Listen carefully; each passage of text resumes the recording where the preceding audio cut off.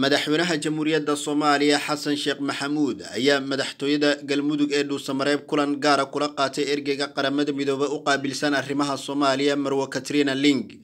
Ha yeeshee madaxweynaha iyo ergeyga ayaa ka wada hadlay qorshaha. Xasilinta deegaanada laga saaray ururka al-shabaab oo ay ku sugan yihiin ciidamada dowladda kuwaasi oo ay ka jiraan xaalad bini-aadinimo loona baahan yahay in si deg deg ahi gurmad loo gaarsiiyo dadkaasi sidoo kale madaxweynaha ayaa ku adkeeyey sidii adeegyada aasaasiga ah loo gaarsiin lahaa bulshada. Sanadaha badan ku noolaa goobaha ururka al-shabaab ay ku sugan yihiin islamarkaana ay suuragal tahay in halkaasi ay xaalad bini-aadinimo ka jirto loona baahan yahay in qaramada midoobe ay doorkeeda muujiso. Madaxweyne xasan sheekh ayaa la wadaagay wakiilka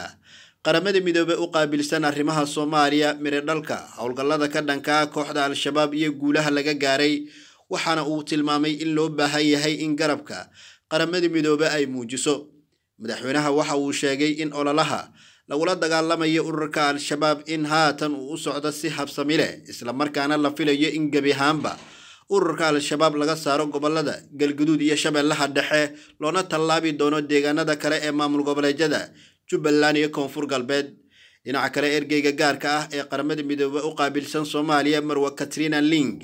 ayaa boogaadisay sida dowladda iyo shacabka soomaaliyeed ay uga go-an tahay.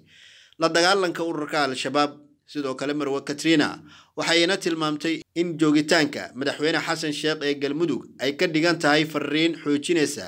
halganka xureynta soomaaliya ee dagaalka ka dhanka ah kooxda al-shabaab. Ergeyga qaramada midoobe ee soomaaliya marwa katrina ling waxa ay sheegtay in sidii la isugu furi lahaa deegaanada ay kala xireen ururka al-shabaab kana soo maleegaan kana soo abaabulaan kooxda al-shabaab qaraxyada iyo dagaalada gaadmada ah oo ay ku soo qaadaan ciidamada. Loona baahan yahay in deegaanadaasi xoogga la saaro sidii al-shabaab looga saari lahaa waa sida ay hadalka u dhigtee. Cabdiqaadir maxamed c b a muqdisho